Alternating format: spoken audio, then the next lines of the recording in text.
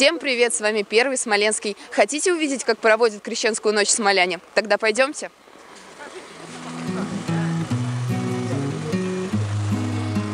Мы на Рядовском озере. Народу здесь с каждой минуты все больше. А вот и первые смельчаки готовы опробовать воду.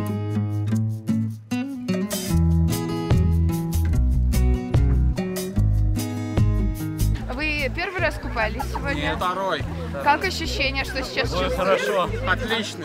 А вы вообще верите в то, что сегодня вода особым эффектом обладает? Верим. Именно поэтому решили скупнуться? Всем советуете или нет? Всем. Рекомендуем. Ага. Это непередаваемые, наверное, ощущения.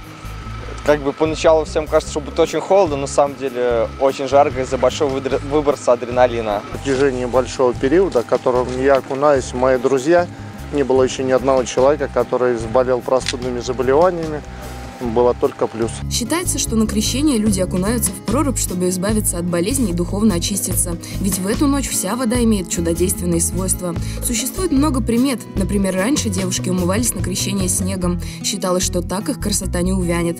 Если в эту ночь много снега, к хорошему урожаю, а сны снятся только вещи. Но окунание в крещенские воды не обязательно ритуал в эту ночь. Главное – встретить праздник по-христиански в храме. А погрузиться в крещенскую воду можно, но не обязательно. Каждый э, решает это в зависимости от своего здоровья. В пределах города можно окунуться в трех местах. Это Рядовское озеро, озеро Ключевое и купель на улице Окопной. Что самое важное, везде дежурят скорая и МЧС. В первую очередь нужно соблюдать терпение. Окунаться нужно по одному. Ни в коем случае нельзя окунаться а, в нетрезвом состоянии. А, лучше всего перед тем, как начать купание, окунание, а, разогреться, там, поприседать, помахать руками. А, в проруби нужно будет подходить, лучше всего одеть тапочки.